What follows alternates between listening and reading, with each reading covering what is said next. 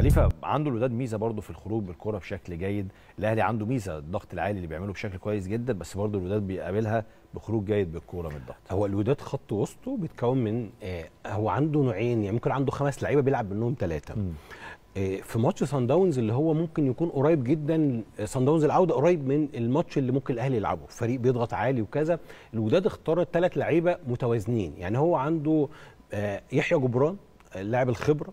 وعنده عبد الله حيمود ده اللاعب اللي هو إيه بقى؟ لعب على حساب إيمن الحسوني عشان إيمن الحسوني ممكن يكون راجل إمكانياته الهجومية أكبر. هو اختار عبد الله حيمود وعنده في عنده مثلا لعيب زي جلال الدودي ده لاعب قوي لو الجمهور يفتكره هو اللي مثلا أصاب ساسي في كونفدرالية 2019 فلعيب أداؤه الدفاعي هو ما اختاروش. اختار لعيبة اللي هي بتلعب كرة أكتر. من ضمنهم كان على حساب أيمن الحسوني اللي هو بيلعب كتير لا اختار عبد الله حيمود. عبد الله حيمود لاعب صغير في السن 22 سنة من الناس اللي تحب تتفرج عليها. وزي ما قلنا يعني إحنا اخترنا كده لعيب نشنا عليه إن هو مش مميز قوي. لا أنا بقول بقى إن عبد الله حيمود من اللعيبة المميزة رغم إن هو مش اللي هو اللي بيركب على طول ولكن هو لاعب مدرب الوداد اما اختاره كان اختيار مناسب جدا. تعال نتفرج على عبد الله حيمود وبيتعامل إزاي مع الضغط. يعني كان مهما كانت الكرة مضغوطة بيعرف يخرجك من موقف ضغط لموقف هجومي جيد. يلا. فالأهلي ممكن يكون بيضغط عليه عشان هو ساعات بيطول الكرة في رجله شوية عشان هو بيدور على دي. بس بص هنا اتجاهات تمريراته هي مثلا 36% منها لقدام و32% بالجنب و32% بس منها للخلف تعال بقى أوريك كمان طول التمريرات دي عامل إزاي. تمريرات طويلة. بص يا كريم التمريرات من عمق الملعب. لما تبقى دي التمريرات السليمة خلي بالك دي التمريرات السليمة. الأطوال دي في الملعب على فريق زي صن داونز دي أطوال تمريرات طويلة على فكرة. يعني اللي أنت من الملعب الزحمة اللي أنت مضغوط عليك وتعرف تعمل تمريرات سليمة بالطول ده دي مميز. تعال نشوفها بقى بالحالات. هنختار حالتين نبين ليهم قد إيه اللاعب مهما كان الضغط اللي عليه. خلينا نبص. هو ده اللاعب اللي رايح له الكورة. بص يا كريم بنعد واحد اثنين ثلاثة ثلاثة من لعيبة صن داونز. وانس إن هو استلم هنا في موقف ثلاثة ضاغطين عليه. هات الفريم اللي بعده اتصرف إزاي مع الضغط. هو هنا راح ناحيه جونه وبعدين قدر يرجع في حركة واحدة. بص قدر يتخطى اللاعب بتاع صن داونز الأولاني. اللقطة اللي بعديها اتخطى اللاعب الثاني بتاع صن داونز يعني قدر يعمل هنا ووصل في المرحلة دي تحرر من الضغط تماما. وبص خرج الباص عامل إزاي للاعب اللي كان في أقصى اليمين هنا. هجمة واحدة قدر يخرج. لو نفتكر الصورة الأولى كانت عاملة إزاي؟ لاعب يعد إن هو هيضغط عليه بثلاث لعيبة يخرجها هجمة بالشكل ده. الكرة دي اتكررت أكتر من مرة. تعال نشوف واحدة كمان في الشوط الأولاني كان برضو عليه ضغط قوي جدا. هات اللقطة اللي بعديها. نبرز قد إيه إمكانياته. هنا بص بيستلم في ضغط عالي من صن داونز. هات ال... هات يعني الصورة اللي بعديها على طول. هنا في حركة واحدة كان متخطي اللاعب اللي بيضغط عليه.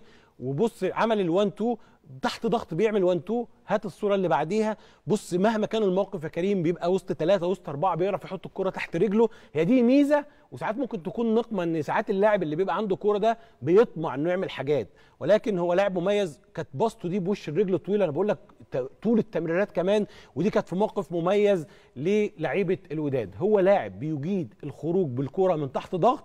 ولاعب متوازن. تعال نبص آخر لقطة بتبين لك برضو ال quality اللي عنده. الكرة دي كان لاعب صن داونز مشترك فيها مع لاعب الوداد هي راجعة له اللقطة اللي بعدها هتبين الكرة دي كرة مشتركة يا كريم.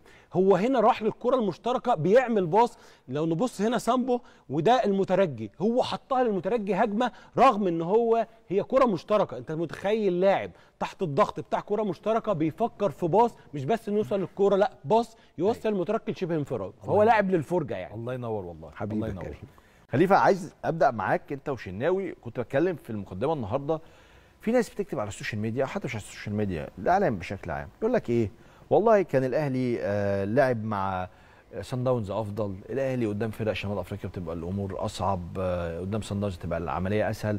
قلت إنه الأهلي لسه كسبان الرجاء والترجي. ما دي شمال أفريقيا يا جماعة برضه يعني ما يعني إحنا ليه إحنا ده من قريب مش بتكلم بقى على التاريخ بيعمل إيه الأهلي. أنا بكلمك على اللي من أسبوعين.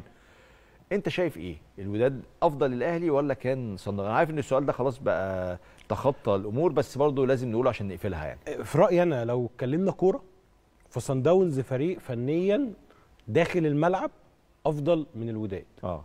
وكان هيمثل مشكلة الأهلي داخل الملعب. صح. لو الموضوع كورة 180 دقيقة ولكن بره الملعب والعقلية والثبات وال... والحاجات اللي بره الملعب الوداد أفضل.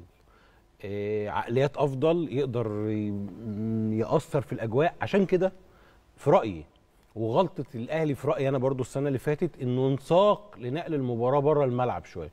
أنت لما تبقى الطرف الأفضل فنيا خلينا نقر بنقط يعني إنه سان داونز والأهلي آه، الأفضل فنيا في البطولة بشكل واضح. مم. ممكن كمان كان سان داونز ممكن كان ليه أفضلية. وارد.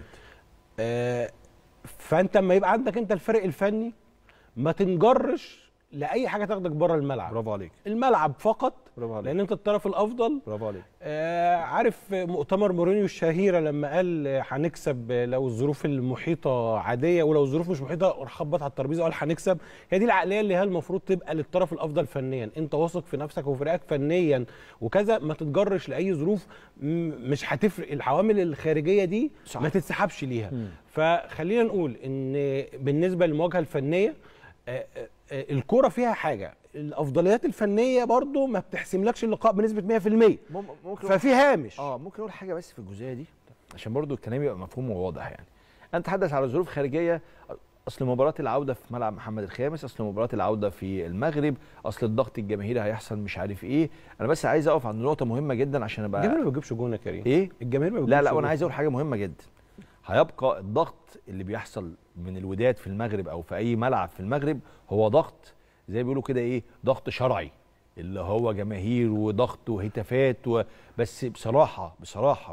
واحقاقا الحق لا عمري شفت تجاوز في المغرب ولا عمري شفت حد بيتأذي في المغرب ولا عمري شفت إنه بيحصل مشكلة في المغرب هو ضغط جماهيري اللي هو عادي بالمناسبة مطلوب من جماهيرنا انها تضغط الضغط ده في استاد القاهرة اضغط وشجع وطول عمر. جمهور مصر كان عنده عنده الأساسيات دي وكان. بيعرف يستخدم ونقول دايما استاد القاهرة استاد الرعب هو كلمة. الرعب دي جاية منين؟ من إنك بتضغط على أي منافس ده ده وضع طبيعي آه. إحنا بنتكلم هنا في القدرات اللي بره الملعب اللي هو والقدرات وعقلية اللعيبة كمان عقلية اللعيبة المغاربة ممكن بيفضل يفضل مركز ما بيطلعش من ال game بسهولة ممكن هو اللي يطلعك من ال game يعرف يعمل فاولات إمتى الحاجات دي كلها مظبوطة والحكاية الشهيرة اللي هي بتاعت تضييع الوقت أحيانا لما بتبقى متقدم والله بص أنا في رأيي أنا كمان ما إحنا ك... إحنا نفس المدرسة. آه. يعني الفرق المصرية برضه أيوة، ما بتبقى علينا. محتاجة لا لا محتاجة إحنا عندنا ماتش بيقعد 120 دقيقة. من غير وقت إضافي يعني ماتش 120 دقيقة. لا إحنا الفرق المصرية برضه بتبقى قريبة من الفوز بتعرف ما تفرطش فيه صح. وبتعرف تنتزع الانتصارات. فالموضوع كله آه، عدم انجرار لأي حاجة بره الملعب وتركز تركيز في الملعب. والنقطة الثانية لازم إيمان بنقطة برضو إن الكورة فيها الأفضلية الفنية مش بتحسب لك الماتش بنسبة 100% يعني آه. فريق 7 من 10 بيلعب فريق 6 من 10 فهو جيم في الملعب. برافو. حتى ال 8 من 10 بيلعب 6 من 10 فهو جيم في الملعب. برافو عليك. فلازم بقى لعب على كل التفاصيل تركيز في كل دقيقة من المباراة وإدراك نقطة برضو إن الماتش 180 دقيقة.